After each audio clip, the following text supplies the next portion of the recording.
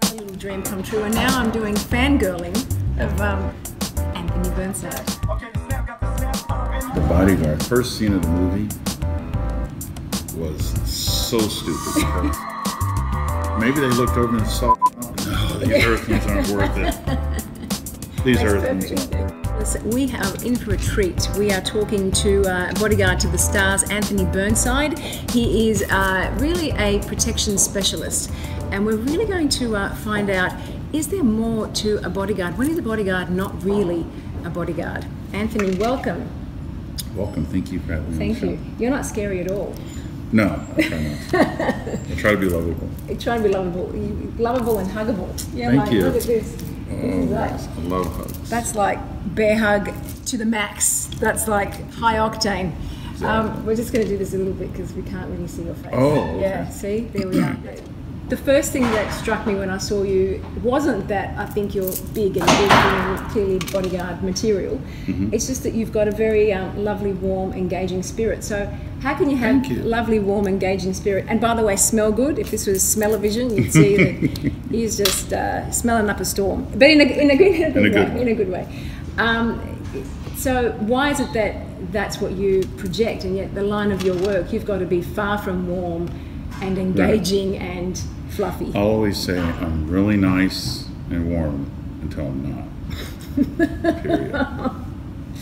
Yeah, I'm, I was on the receiving end of that comment, and yeah, you don't want to be sitting the work that you've done over the years. So you've worked with some pretty high-profile people. Right. Yeah. Some people, of course, we can never talk about. Sure. But, but I've worked some of the um, those high-profile shows in the in the world, from the Grammys, the Oscars, the Golden Globes, BET Awards, American Music Awards, um, and a lot of other private functions. Mm-hmm. You know, we're like your own personal Secret Service and NSA.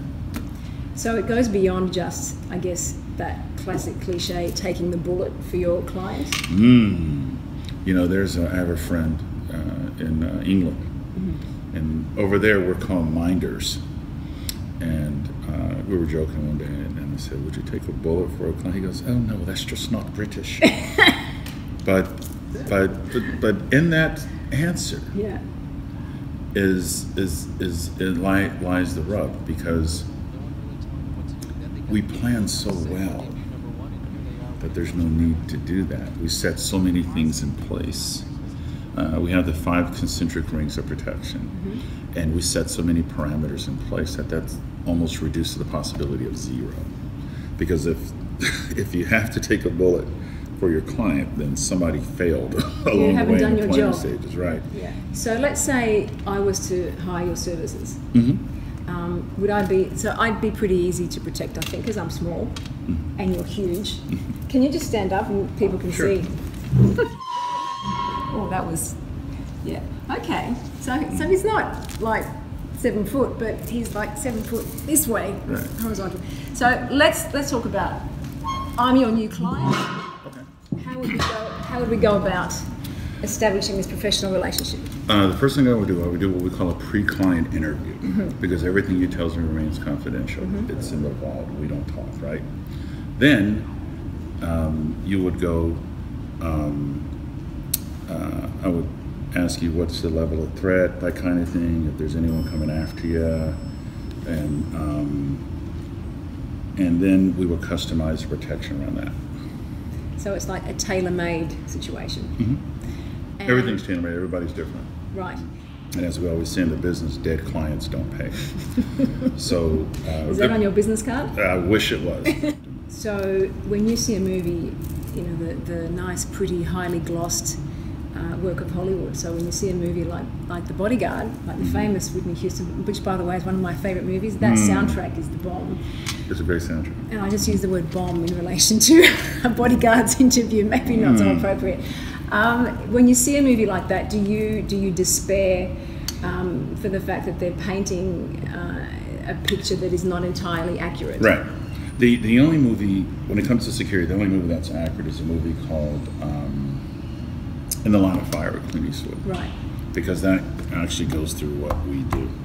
And um, uh, The Bodyguard. First scene of the movie was so stupid because you notice he gets in a shootout, right? Right. That doesn't happen because if you get in a shootout with a client, The client Uh, will die. Right? Yeah. You don't do that, and you don't take them in the same door, take them out the same door you bring them in. You don't do that. Yeah. So and you don't sleep with your clients. That's another thing. So, So that's so. So a movie like The Bodyguard is less drama and more comedy for people in your field. yeah, I thought it was a farce. I thought it was a farce. It was like it was great though because Yeah. you know I like when he's on like Kevin Costner, Yeah. but I was like that just wouldn't happen. Yeah. you know. Yeah. And like Kirk Gazelle used to be a cop. There's a really good movie called End of Watch Mm-hmm. With Jake Gyllenhaal. So if you ever want to know what it's really like to be a cop, watch that movie. So very few times does it do they get it right, but most of the time it's just. You know, it's not like the transporter. It's not like we're jumping off, doing super martial art kicks. It's not like that. We don't do that. Right. You know, if we're doing that, that's bad. That's bad for business. You know, Yeah. that attracts attention. People get sued. You know, Yeah. we're the quiet. We're like James Bond. Uh, but without the suits. without the suits. We were, you know, it's funny you mentioned that. We're like chameleons. We blend in. So How would um, you blend in? I'm interested. You know? I know it's weird, right? It's weird, You right? this big, you know, Because badass. I just said badass. Gold go. watch like I come from Compton, which I clearly don't. Um, so, um, like you- Compton in Queensland. Is, is there a Compton in Queensland? I have no idea. You know, I love magic, and I tell you what, I, I love magic and science. I'm a big science nerd. I Mm-hmm. like astronomy. I tell you a perfect example. Mm-hmm. I've worked for some really cool people. Never impressed me. Like, uh, uh, uh, Madonna some years ago, um, Iggy, uh, and those are people I can mention because it was you know, sent the Grammys, blah blah blah. yeah. But do you know who I ever fanned out over? Who did you? Who did Anthony Burnside fan out over? Neil deGrasse Tyson. Really? He's an astronomer. yes, I know who he is. I'm a huge fan. Matter of fact, I was uh, just He's a smart, engaging guy. He's He's, amazing. he's incredible. Yeah. I, I met Neil in February at a function. right. And immediately, I was with my friend Tiffany Rothman. Yeah. And immediately, I went over, I shook his hand. I said, You are my hero. And then he goes, The universe is a hero. And I said, Damn, he's good. from Neil deGrasse, from Richard Dawkins, Andrew Frontnoy, Mm-hmm. people like Paul Kurtz. These are my heroes. Paul Kurtz is actually a personal friend. Um, uh, uh, James Randi. James is not really a scientist, but he's a skeptic. He's That's also right. a friend of mine. That's right. That's what I, I mean. I can sit here and we can talk about the first and second law of thermodynamics or string theory or Walden one and Walden two. Hey, talk dirty to me, baby. You know, because there's it's, it's like uh, believe it or not, I met a few people that didn't believe we went to the moon. But there are lots of people who still believe that. Right, but They they're wrong. They're wrong. You don't buy into that conspiracy? No, I, I use facts and logic to arrive to a conclusion. I don't do 'Cause you're I- crazy like that. Yeah, exactly. I don't do pseudoscience. I do this real moronic thing called uh, thinking. And when you look at the evidence, as an investigator, you look at the evidence. You don't start out with an answer and work your way to an evidence. I'm from the uh, uh, uh, Aristotelian logic, the Jeffersonian type of thinking. He's a great guy. Right, where where you start out with the evidence and then work your way to a conclusion. All of the things they talk about when they talk about the moon landing, it can all be debunked with the new Google search. But one of the things that works very quickly that the, the hoaxers never talk about is that we have a laser that's shooting from uh, an observatory in Texas, where it shoots a laser at the moon and it bounces off the reflectors that the astronauts put there. That, that way we can determine the distance of the moon. That's how we determine the distance of the moon. And I always bring that up because they put it at different locations when the Apollo craft landed, right?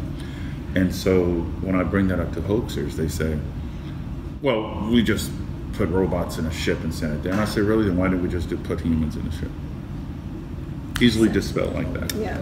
And the pseudoscientific thinking, I think it's great if um, uh, if you're just a regular person and you can espouse these things, that's fine. But when you work in government, where you have certain people in the, in the American government that doesn't believe in science, that doesn't, that's when it's scary. It's a problem. Right, and I stand by Bill Maher. I stand by uh, Neil deGrasse. I stand by Richard Dawkins. Um, you don't want that kind of tunnel thinking, that kind of lazy thinking, because that's what it is. It's a uh, Dawkins uh, coined the word mind virus. And what that is, is that's when you pass useless information to another person, it just becomes even more useless. There's nothing fruitful that Then comes it from spreads, though, right? and it's spread. I think you have a right to believe whatever you want. There's nothing wrong with that. Just don't force it on someone else. Absolutely. You know, if you want, if you want to believe in UFOs, I have no problem with that. Matter of fact, I can intellectually say that I don't think we're alone in the universe. I think maybe there are other. That was my next question there. Mm-hmm. to you then. U- UFOs, fact or fiction? I would say, from what we've seen so far, there's no scientific evidence. But that doesn't mean it's not true. That doesn't mean that they're not visited. I think Tyson, Neil deGrasse Tyson, said it best. It would be arrogant to Absolutely. assume that Yes. there's no other life forms out there. I think there is. Now, notice I didn't say necessarily believe. Because believe gives you the supposition that it could be true. I think that there's, like evolution is a fact, gravity is a fact, the earth spins around the sun is a fact. Okay. I, I think that there's other life forms out there. Maybe, and maybe they just haven't got here yet, or maybe they have. I don't they're know. not interested. Or maybe, they're not interested. Maybe we're the Alabama of the universe. Oh, could be. Absolutely. Maybe they looked over and saw. No, these Earthlings aren't worth it. These That's Earthlings aren't worth it. Yeah, these Earthlings. Uh, no, these Earthlings are not worth it. Let's go to the Andromeda Galaxy. You're such a fanboy of him. Oh, most definitely. Oh, crazy. Did you ask him to sign your Yes. shirt or something? No, I had some science, and I got a picture with him. It was great. Now, and now we talk every now and then. So he's kind of. Oh, are you kidding me? Would you protect him? Hell yeah! I wouldn't even charge him. That's Neil deGrasse Tyson. So you heard it here. Th- There's a Yeah. freebie for you, Neil. Exactly. In college, I was in the sciences. I excelled in humanities, philosophy, logic, ethics, biology, microbiology, uh, physics. Those were my areas. Well, you know what, Mr. Burnside, you have certainly, uh, throughout the course of this conversation, uh, you have dispelled the um, misconception Thank you. that uh, a bodyguard, and you're not a bodyguard, you're so much more, is no. um, all brawn and nothing up here. So Right. Those are the ones. I tell you a true story. Mm-hmm. Most people, especially in Hollywood, they're like the big, gigantic guys. and Yeah. everything. And there's nothing wrong with that because the psychological intimidation factor. But if you look at the Secret Service, they're not big guys. they're not. big women. But they're some of the most highly trained professionals in the world. Because it's we protect you with this, not necessarily this. If I have to protect you with this, I'm not doing my job, and you're going to get sued, and Yeah. someone can get hurt. Yeah. But the best weapon a protection specialist have is their brain. This is the most deadly weapon I possess because I'm a chess player and I'm always a few moves ahead. And we are here with the very lovely Anthony Burnside. He is a, um, a protection specialist, not a bodyguard, because there's so much more to what he does than a bodyguard does. You're welcome. And uh, you've got to hear this. He used to be a radio DJ, Velvet Voice. Here we go. I used to work at a station, it's Really loud. KKFI. Yep. used to work at a station at KKFI. And when I, when I opened the show, I would say, uh, you listen to 90.1 FM KKFI. My name is Anthony the Evil Genius, playing some Parliament Funkadelic for you. Doing it to you in your ear hole. We call it oral sex. I want me some of that. Me too. Peace.